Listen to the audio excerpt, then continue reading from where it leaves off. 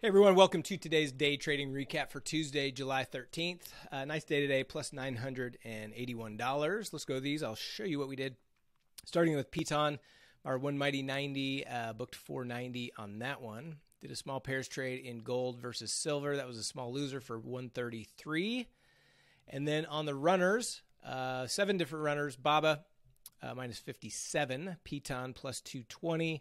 Square minus 330, Snow plus 150, Roblox plus 246, Roku plus 380, and the NASDAQ basically a scratch minus 15. So I was actually getting ready to record this recap, and then all of a sudden the market started really moving. Uh, if I take a look at the futures, just like at the Nasdaq and the S and P, I mean, Nasdaq really started flushing. S and P was coming down hard, and so I said, okay, maybe I'm not quite done yet. The market was screaming at me that it wanted to give me more money. So I said, okay, you know, I mean, that's what that's what you do when it's yelling at you to give you more money. You just take it, right? So um, let's start with the uh, let's start with the Mighty 90 and Piton. I'll show you what we did here.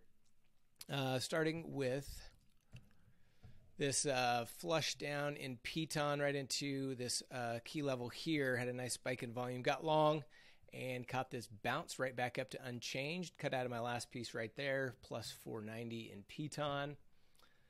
Uh, onto the runners, Baba. Uh, Baba, I did have a nice profit in. Uh, had this uh, initial weakness and then bounced all the way up above the high. Started consolidating. Got long right here, looking for another push, which I got it. I got out of most of my position there, and then when it pulled back, uh, I got back in with some more, looking for some more uh, upside and it just started to fall. So I ended up cutting out. Net net took a loss of minus 57 in Baba. Uh, Piton, back to Piton. I did that mighty 90, but then I also had a runner.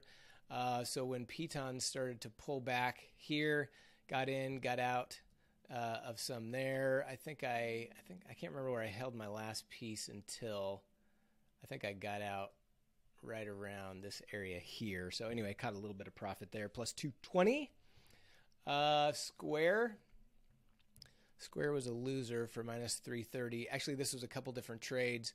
Uh, one of which was a winner, had this nice volume spike here. So when it pulled back, I got in and it actually bounced uh, intra bar and caught, may have been right here, caught, uh, closed half my position out for 10%. And then when it started to come down, uh, closed the last piece out. Booked a small winner on that.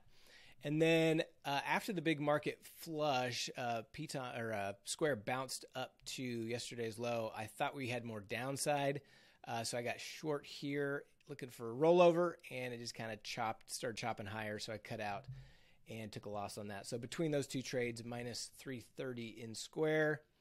Uh, Snow, don't trade this one too often, but uh, one of our fellow trade hackers in the room pointed it out had a nice big uh, man was the one who pointed out has a nice big volume spike. And so when uh, snow just pulled back a little bit i think it was maybe right here uh, i just caught that caught that move higher uh, very small position but booked a quick 150 and got out. Roblox. Roblox roblox roblox. Plus 246 in roblox. Um, roblox uh, had some real uh, a lot of weakness here um, I got in, I believe, right in this area short, caught this move down, held on to one last piece. Uh, it looked like it was going to push through. And so I cut out of my last piece here, obviously exactly the wrong time in hindsight because it started to trade back down, but that's okay. Still booked a nice profit of 246. Uh, Roku. Roku. Where are you, Roku? All right, so Roku, um, I was watching Roku all morning, had a super tight range, just chopping, chopping, chopping.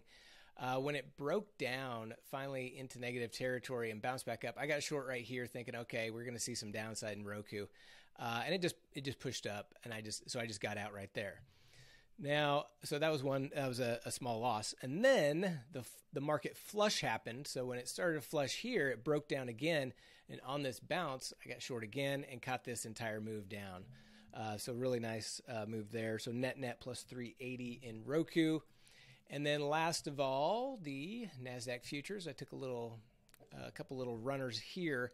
So when the market started to flush and when it bounced, I got short here, Caught a nice move there. I think I got out of my last piece real close to the bottom right down here. Then when it bounced up, I thought there was more downside in it, looking for it to roll over. So I added back in and then it pushed up. Uh, so uh, I think I got out of my last piece right around here, uh, just about 10, 15 minutes ago. Uh, so netted 15 bucks. So basically a scratch overall on the Nasdaq. Uh, so that's the uh, that's the day plus 891. I think I said yeah no 981 plus 981 on the day. Uh, we'll be streaming the rest of this week Wednesday, Thursday, Friday. Uh, we're offline on Monday, so look forward to seeing you in the live room. See you then.